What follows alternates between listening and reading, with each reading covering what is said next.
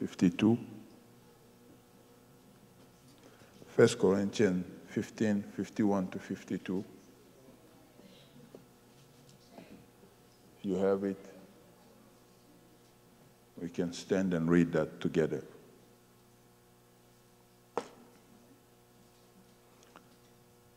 First Corinthians chapter 15, 51 to 52. Okay? Let's read together. Behold, I tell you a mystery. We shall not all sleep, but shall all be changed in a moment, in a twinkling of an eye, at the last trumpet. For the trumpet will sound, and the dead will rise raised incorruptible, and we shall be changed. Amen. Say, Lord Jesus, speak to my heart. You may be seated. We want to continue our teaching, Escape Hell. Um, the song just said a few minutes ago that uh, I'm a child of God. In his house, there is a place for me. Amen. A place that he went to prepare for us. So hell is not our place. Last time, I don't know, some of you may miss it. There was a video that we show about how the rapture will start. I want to try to touch two things quickly today. How will the rapture happen? Okay. And secondly, who will be raptured if I get a chance to finish it? Okay. Now, um, let's play that video. Um, it's, it's from the Left Behind uh, uh, series. Uh, the Left Behind series is not perfect, but uh, it's been done well. There's a lot of things there that's really following the Bible. I can say, according to me, I don't know all the Bible, but at least 99% of what I see in that movie is lining up with the scripture. So this video you're going to watch is showing uh, a scene uh, that really goes together with uh, what it says in Matthew chapter 24. 24, that just like in the day of Noah, that's what is going to happen in our time. People will be getting married, people will be doing this and that. Basically, what uh, the Bible is saying is that life will be as usual. People will be just having a regular life. It's not going to be like you will see some strange happening in the heaven and then, you know. No, it's going to be normal life. People at the mall, and boom, it happened. There will be people in the soccer field, boom, it happened. There will be people in the airplane, boom, it happened. There will be people in the church, boom, the members are gone, the pastor did not go. He's preaching in the chair. So, so it's going to be complicated. I'm telling you, this thing is scary, you know. You have to be right with God. You know what I mean? Yeah, you can't just stand here around your mouth. May God help us. You understand? This is serious stuff, okay? Because that the decision will be done by the King of Kings, the Lord of Lords, who knows our heart very well. Nobody can hide. Okay? So please watch this scene and then I'm going to continue with the scripture.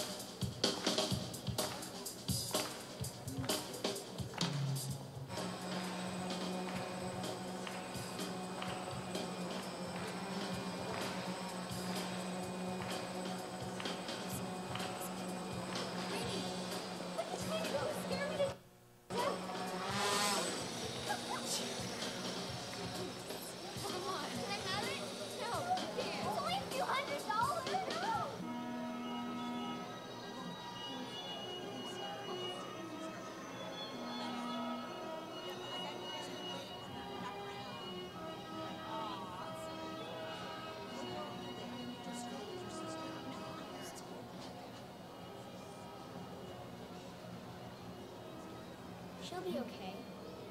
Huh? Mom. She still wears that necklace, you know. The one later.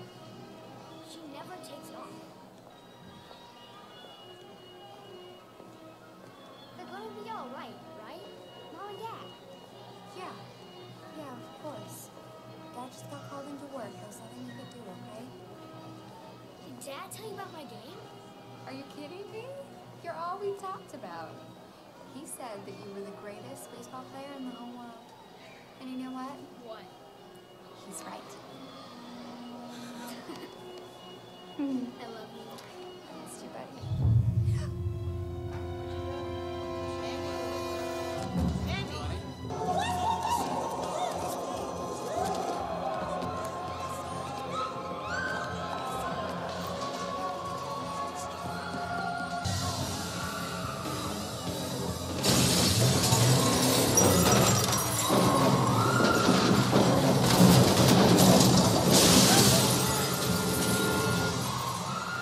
That just happened because the driver is, is gone.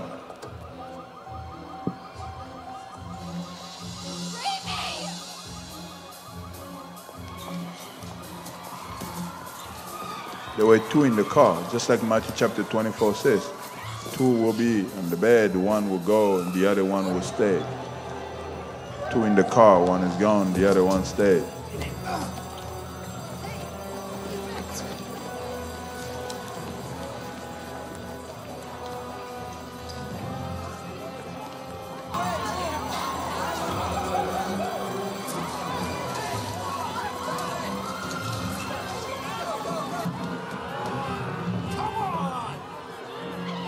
Drivers that are gone, so it created traffic.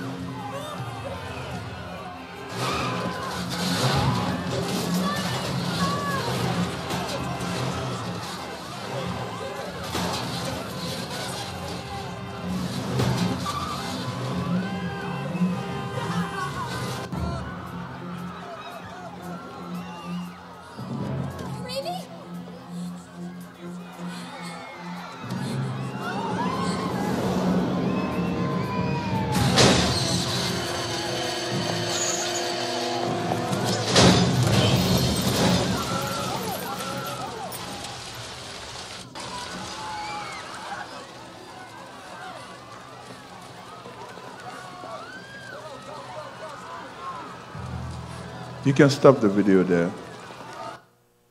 Probably one day we'll have a movie where we can watch the whole thing.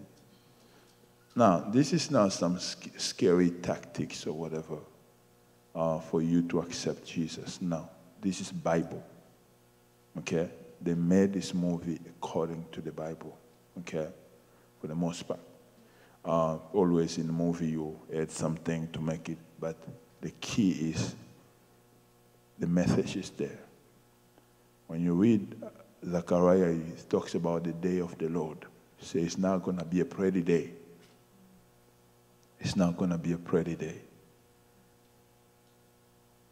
Unfortunately, we are living in a time where scripture say that people would like to hear things that are sweet in their ear. They want to hear things that, that people telling them, oh, it's going to be just fine. It's going to be fantastic. Oh, we just, God wants everything to just be great. No. God delights in the prosperity of his children. But his ultimate goal is for you to have permanent peace, permanent joy. And that permanent joy is not in this earth. It's when you enter into his presence. Hallelujah.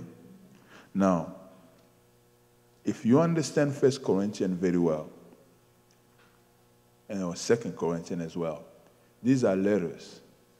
Paul is writing to the church of Corinth.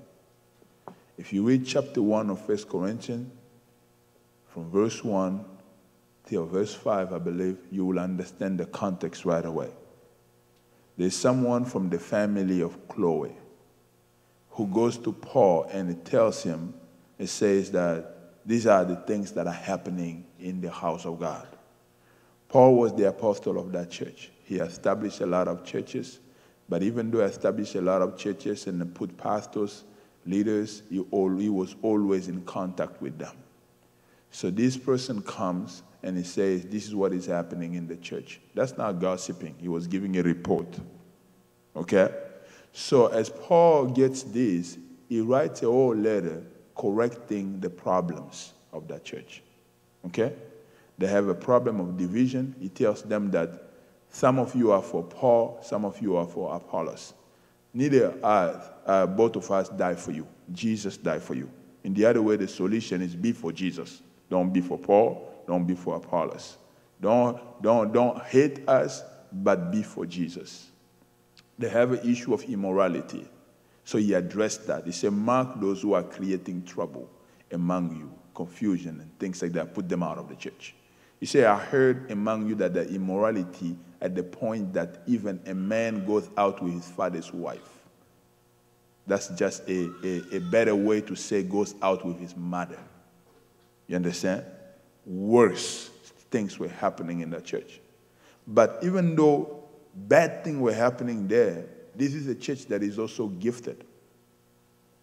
Gifted because it has also the issue of uh, the spiritual gift. In chapter 12 of First Corinthians, here, concerning the spiritual gift, do not be ignorant. Okay? So he addressed that issue. It means that where the presence of God is strong, the enemy also comes and fight right there. You know, the problem with the body of Christ today, when there is one or two incident in the house of God, you see people panic. Oh, in our church, this is happening. This and that. We're talking about First Corinthians here. This is Jesus just recently gone. Paul is starting his ministry. Peter and others, they're still preaching. Okay? And the power of God is so strong in this church, but yet bad things are happening. Hallelujah. Should I say hallelujah there? Okay. Hello? Okay, good. now, the thing, the key thing is what?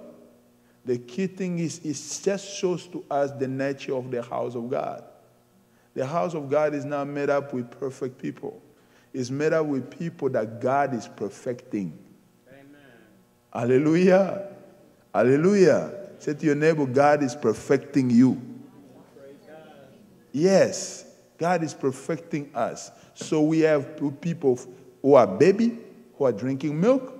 We have people who are teenager, spiritually. They know everything. You know, teenagers know everything. You can't tell them nothing. You have those people. You also have mature. And then the scripture teaches that those who are strong, they should support the weak. Okay? So don't come in the church expect everybody to be perfect. Come in the church know that somebody can insult you in the church because that person is just being perfected. They're not correct yet. You understand? Okay? All right. When your child it, it, do uh, number two in the cloth, you don't run away from them, do you? You actually go towards them. When your baby messed up the diaper, you don't run away from the baby. You don't say you're no longer part of the family no more. No, you don't say that because you did this. You go to them and you clean them. Hello? Uh-huh. You clean them, okay? And you fix that. That's the mentality we need to have in the house of God. There are people who do something foolish, but our responsibility is to correct them. So, First Corinthians, to make the whole story brief, is that Paul is trying to correct and direct them because he knows that all of them here, they're still in the journey towards perfection. Okay? Christ will say, uh, He will present us faultless. It doesn't mean that we are faultless. He will present us faultless. Okay? He will present us faultless. He's working on us, okay, through His word. So when you get, you get to chapter 13, it talks about love, okay, being the excellent gift. You go in chapter 14, it's talking about order in the house of God because there were confusion. You know, like I'm preaching, somebody you want to stand up and say, The Lord is speaking to me. They want to prophesy. Okay? And, and, and somebody want to sing a song over there. You know, it's like, Hallelujah. And the pastor is preaching here. And the other one say, Pastor, wait, wait, wait, I have a question. Eh? Eh? And then the other one, da, da, da, da, da, da, da. Paul say, Hold on. If you have a song, sing a song, let everybody else listen. If you have a prophecy, then the, so he had to bring order in the house of God. Okay? Now in chapter 15, you have a doctrinal problem of resurrection of the dead. Okay? So some people are arguing about Jesus Christ, was he resurrected in the body or not? Some say when Jesus was resurrected, it's just his spirit that was resurrected, not him. So Paul is addressing and explaining to people that no, people saw Jesus. They ate with him. They saw him physically. They recognized him little. Okay? He was with some disciples in the ways to, uh, um, how do you call it, um, that's, that, that road? Emmaus, yeah. He, he came to them in the house and there with them. He spent 40 days of his life after resurrection spending time with his disciples. So he was physically resurrected. And also he was raptured physically. People saw him. Act chapter 1, verse 11. Okay? So now he's addressing the issue to say that, listen, if Jesus was, if the resurrection of the dead did not happen, it means that Jesus also did not resurrected. Then means that our faith is in vain. Why? Because the only difference between our belief and any other belief out there is that Muhammad is still in his tomb. Confucius, Buddha, and all those people, they're still in the tomb. But we are the only people that claim that our Jesus is not in the tomb. Is not in the tomb, and that's the evidence because that can be demonstrated here and right now. Because Jesus is alive. When you are alive, you continue to do things that you used to do before. I'll give you one example. The difference between Christianity and any other religion. If you dare go to Malaysia, for example, in a Hindu temple and insult the gods, okay, Murugan, uh, what's the uh, Ganapati, you dare insult, you're gonna have a problem. The people in the temple, the Hindu can come to your house and burn your house. You do that in India, in Sri Lanka, you're gonna have a problem. If you make up a cartoon insulting Muhammad, you know what's going to happen to you. They will track you down, they will destroy you. But if you insult Jesus from morning to night, nobody's doing nothing to you. Because our God is a God who defends himself. Amen. When you're dead, other people have to defend you. But when you're alive, you have to defend yourself. And he's able to defend himself. That's why a resurrection of Jesus is very essential in our faith is true and it makes the difference. Hallelujah. It still changes people's life today. And he defend himself. You insult him all day, you burn the Bible, whatever you want to do. Nobody, no Christian is going to come to, you. why did you burn the Bible? Why did you insult Jesus? No. Jesus is going to come to meet you in the midnight. You'll be crying like a baby. You'll become a Christian. Amen. Yes, because he's alive. Yes, you can clap for that one. Hallelujah. How Jesus is alive. Here I can say hallelujah. Hallelujah. Amen. So now, because Jesus resurrected, we will also be resurrected. That's what he's trying to say. So he's talking about resurrection of the dead, but also at the same time, he's talking about the rapture. Okay? Now he said that I will tell you a mystery. Okay? Mystery is something that we don't understand. Okay? But God has helped Paul through revelation to understand. So now he's sharing with us. He said, I will tell you a mystery. So in the mystery, the first thing he's telling them is that there are people who will not die, they will see the coming of the Lord. Okay? They will not die, they will see the coming of the Lord. The fastest way to see the Lord is to die. Okay, you outside of the body, but present with the Lord. Okay? That's the quickest way. But it's saying that, I'm not saying go kill yourself, okay? Don't do that, okay? No, I was trying to go quickly. No, wait. Wait for your time. You still have a mission to fulfill, okay? But it's telling them that there will be people who will not die. Now, when Peter, uh, uh, Paul is talking about this thing, he literally believed it that it could happen anytime because they were living also in the last days. The last day begin when? when you read Acts chapter 2, verse 17, you will see that Peter responding to the people who were saying that they were drunk.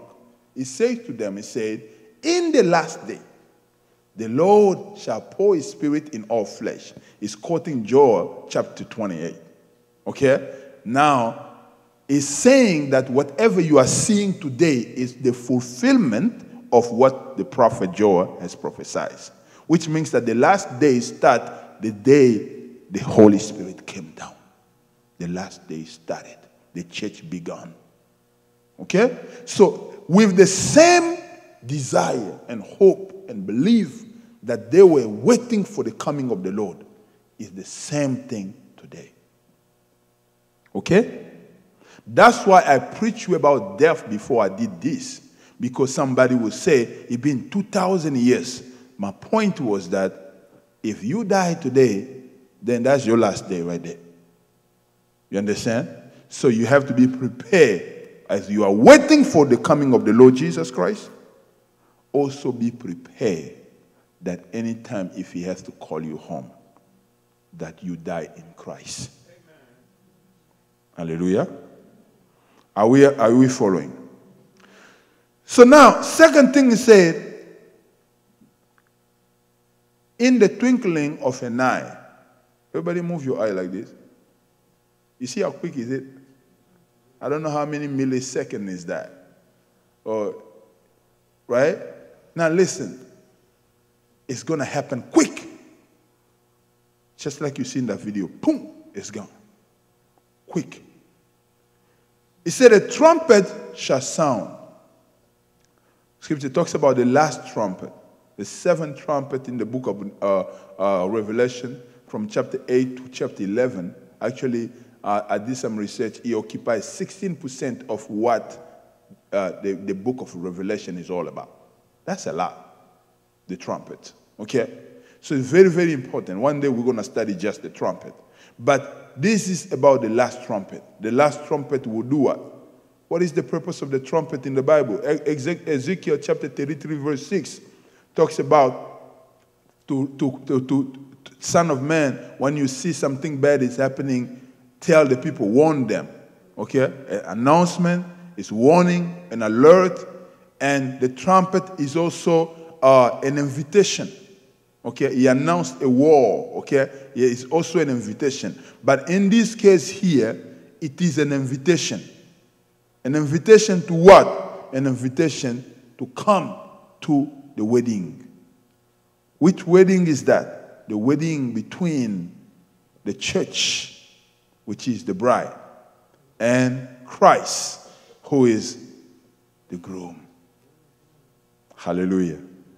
Are you now blessed that you are married to Jesus? Okay. In 2 Corinthians chapter 11, verse 2, the Bible says, For I am jealous, no, for I am jealous for you with godly jealousy. For, for I, be, I, I betrayed you to one husband. Hold on. I betrayed you to one husband so that to Christ I may present you as a pure virgin. Okay? So there is a wedding that is going to happen. When I'm talking about wedding, I'm not talking about physical wedding the way we see it. It's just talking about relationship coming together of Jesus Christ. Hallelujah. And the church. Okay? Revelation chapter 19, verse 7 talks about that again. Say, let us rejoice and be glad and give the glory to him. Him with big H, Jesus. For the marriage of the Lamb has come and the bride has made, has, has made herself ready. I got a question for you. Are you being ready? Are you making yourself ready? Okay? The church has to get ready because there is a time coming very soon that is going to be the time for marriage. Okay? Let me give you another evidence here. When you read in the book of uh, uh, Revelation chapter, not Revelation, Matthew chapter 22, 10 to 11, talks about the, the, the invitation to the wedding. Remember that? And somebody did not have the proper clothes and it was thrown outside. Okay? What wedding is Jesus is talking about? Again, it's this wedding here that is going to happen after the rapture. Okay? The church will be gone. And when the church is gone, what's going to happen is that the church will meet with Christ in the earth. Okay? Let me give you a scripture that talks about that.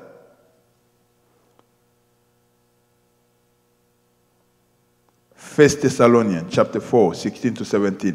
For the Lord himself will descend from heaven with a shout, with a voice of the archangel, and with, and with the trumpet of God. And the dead in Christ will arise first. Then we who are alive and remain shall be caught up together with them in the cloud to meet with the Lord in the air. And thus we shall always be with him. So the location of that wedding is what? The air. A place that he has prepared for us to celebrate this wedding. So when the trumpet shall sound, what the scripture is teaching us is what? That the dead in Christ shall rise first. Who is the dead in Christ? Remember, in the beginning of this teaching, I defined those things because I told you we're going to need it. The, the dead in Christ are people who, when they died, they were believers in Jesus. They've given themselves to Christ. So when we talk about the bride, the church being the bride, we are not talking about change the nation church. We are not talking about Westover church. We're not talking about First Presbyterian church. We're talking about the universal church, which is the church that Jesus Christ himself is the head, is the pastor of that church, is the together or the assembly of all the saints in the world.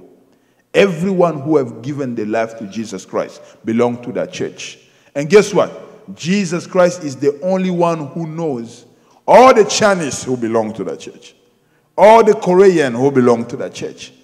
So we can be here thinking that we all belong, belong, belong, uh, I mean, belong to the church.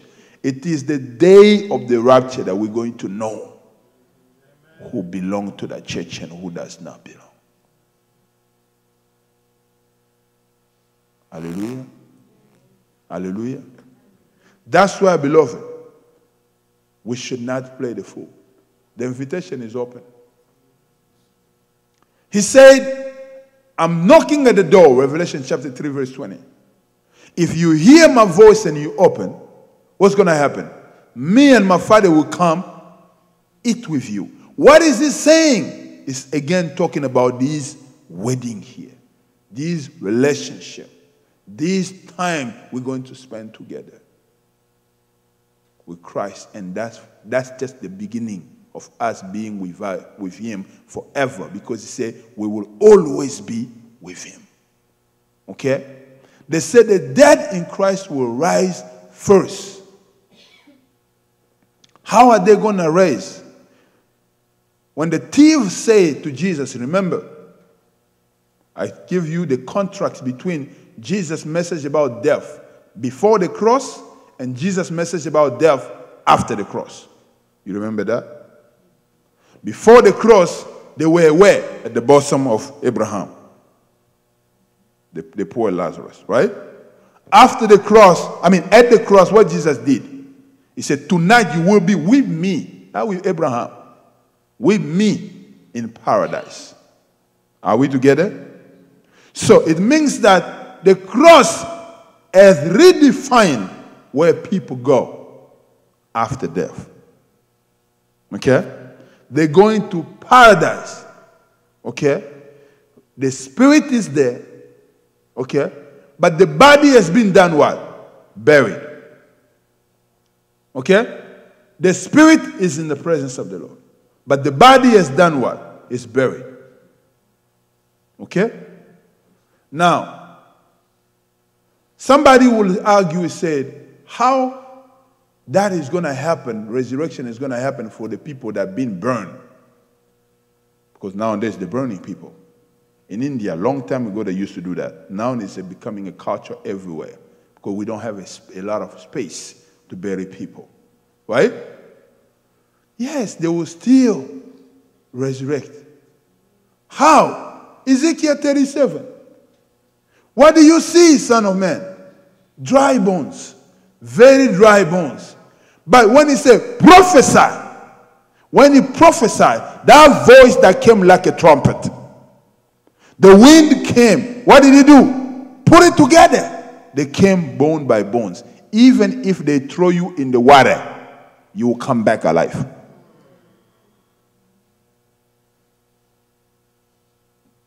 They burn you, they bury you. When the trumpet shall sound, if you had Christ in you, remember that the sign of Christ in us is the Holy Spirit. The Holy Spirit is Christ in us. He said, I'm going, but I will come to you. How did he come to us? Through the Holy Spirit. And he said the Holy Spirit is what? A seal. A seal, when you, you put a seal, it means that it's there the Holy Spirit did not come to you to leave you. He come to you to stay with you. Yes, it can be sad because of some things that you did, you you did was not correct. It can be disappointed in you, but it's not leaving you. Amen. It's right there. A seal. Okay? You can quench him when you are not listening, but it's there. Those of us that were have accepted Jesus Christ and they are filled with the Spirit of the Lord and the Spirit of God is in you. Guess what? The same Spirit that raised Jesus from the dead will do what? Let's read it. Romans chapter 8, verse 11. The Bible says, But the same Spirit, the Spirit of him who raised Jesus from the dead dwell in you. Dwell where? In you. He who raised Christ from the dead will give life to your mortal body through the Spirit who dwell in you. Okay? Let me just read all these scriptures so I can explain one time. Philippians chapter 3, 20 to 21. But our citizenship in heaven, and from, from it, we await a Savior, the Lord Jesus who will transform our lonely body to be like his glorious body by the power that enable him even the sub- subject all things to himself. Okay which power is that? The holy spirit. So the holy spirit is in the people who died in christ. And the holy spirit is in you. Okay? When jesus died the scripture teaches that he preached the dead right so when he was preaching, his body was laying there. Hello? It is the spirit. Remember, you are body, soul, and spirit. The real him inside was doing all that work. Okay? He was doing all that work. In your hands I lay my spirit. What happened? Was he there? Was he there? Yes, he's omnipresent. He's there too. So, is the spirit is there, but the body is what? Laying down there. After the third day, I mean, after uh, on the third day, as he was predicted, what did the Holy Spirit say? Get up. It's time. I told the people that you will resurrect. If you don't come out, our Trinity is gone. Nobody will believe in God anymore. Get up the spirit of Jesus get back in his body and he come out. Right? And he left. Some people say they put the stone there to prevent Jesus from coming out. That's true. And the angel came, moved the stone. But the angel did not move the stone for Jesus. The angel moved the stone for people to come and see. Because Jesus, in a glorified body, did not need the stone to stop him. The proof is that when he came to see the disciple, what did he do? He showed up. The door was closed. He showed up. So the stone couldn't stop him. The stone was not removed for Jesus, the stone was removed for you and I. Because in the glorified body, there is no limitation. And because of the glorified body that Jesus had, what happened? He was caught up in heaven. He was talking with people, and then the look is no longer there. He disappeared. Because all the limitation that we have in this body here, we don't have it with the glorified body. That's why Paul said, I will teach you a mystery. We will all be changed. This mortal body will change to the immortal body, the glorified body. There will be transformation. This body here will not see God. The body you put makeup on, I'm not saying don't put makeup on. I'm just saying.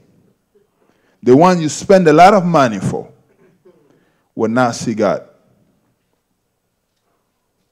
Invest in the one inside. Amen. Hallelujah, church.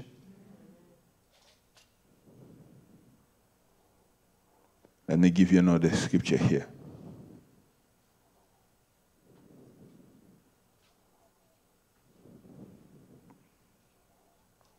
This is proof again that Jesus is the wife of the church.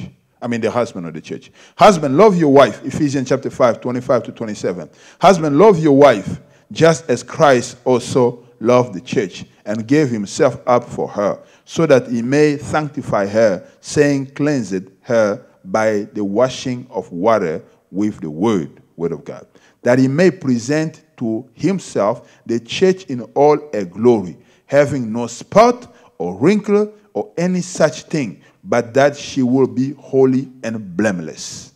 Hallelujah. So the church now is doing what? As I'm preaching you the word of God, what's happening? God is preparing you, is washing you. He said, You are already holy because of the word that I've given to you. John chapter 15. Okay? So as you are coming to church, as you're reading the word of God, as you are praying, what is happening to you? You are being prepared you are being made ready.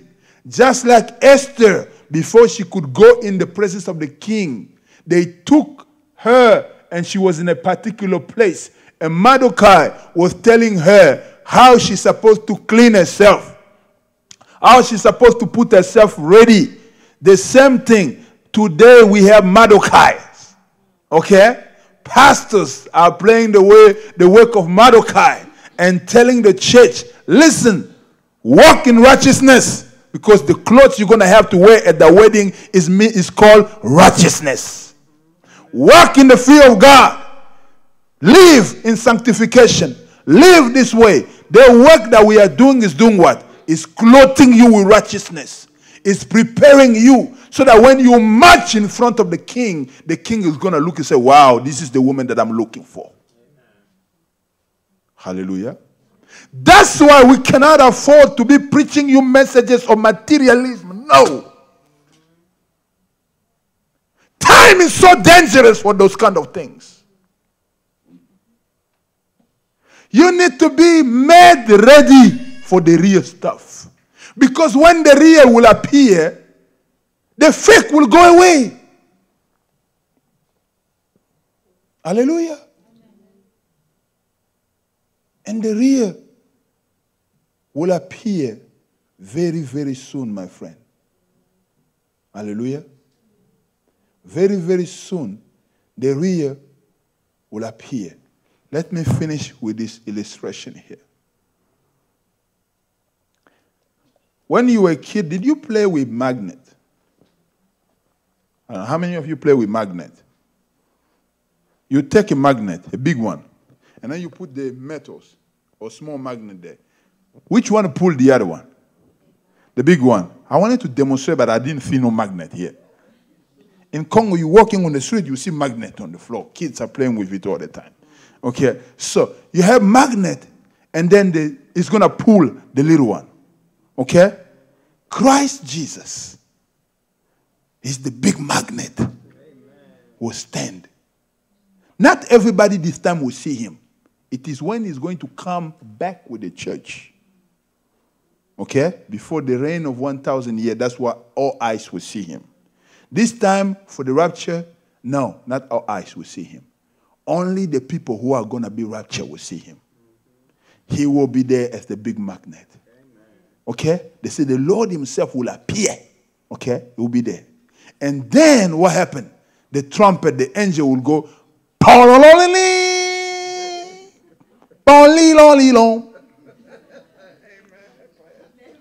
Hey!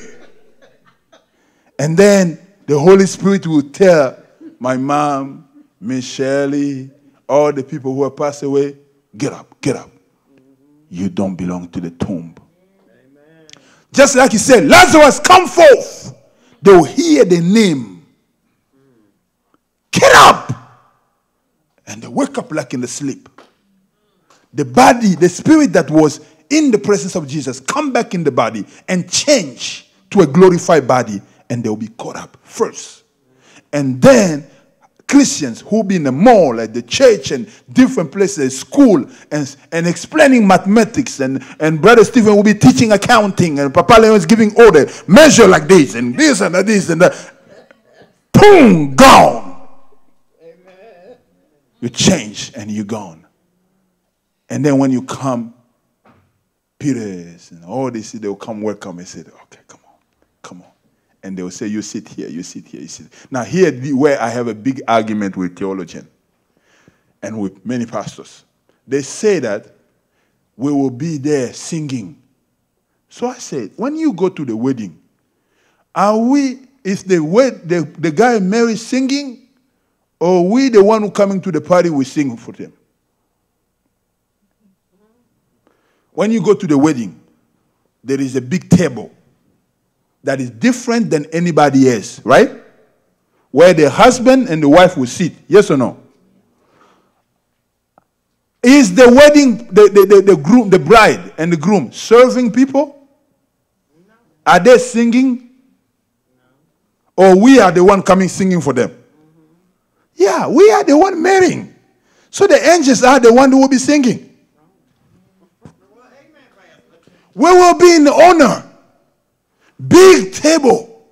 We sit down with the King of Kings, the husband of the church. And the angels are serving us.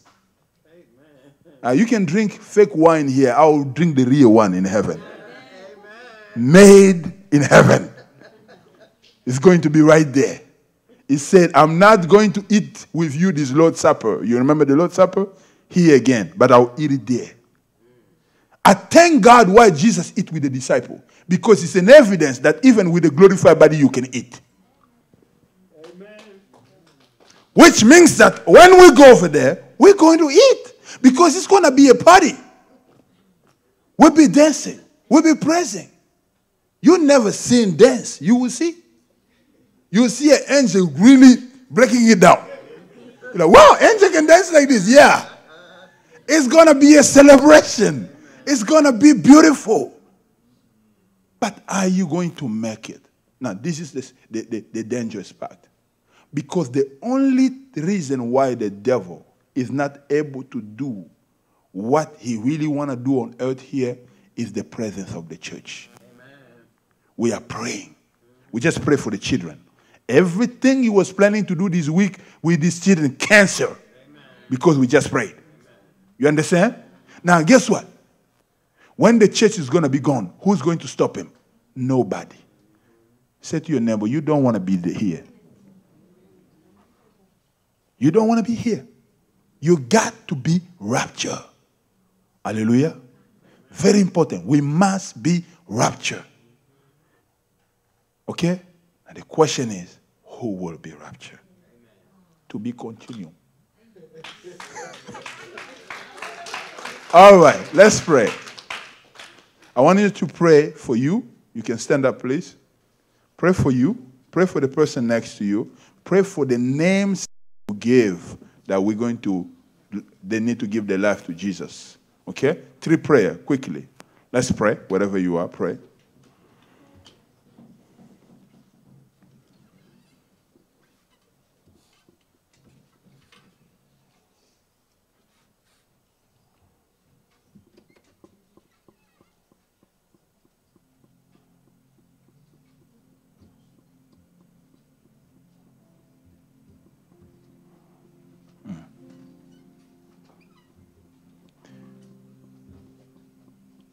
Unto thee, man, I surrender. To him.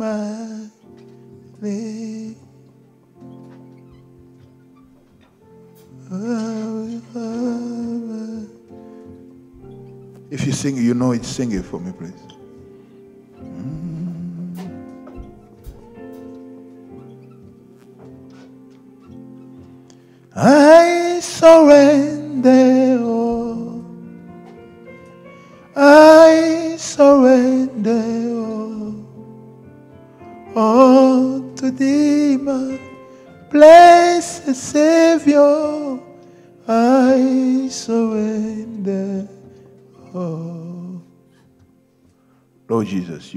You have given to me, I deliver unto your children. I pray that that word will be like a water that will clean our hearts and prepare us to be spotless, blameless when the trumpet shall sound. Let us hear our name and let us be caught up. In Jesus' name we pray. Amen.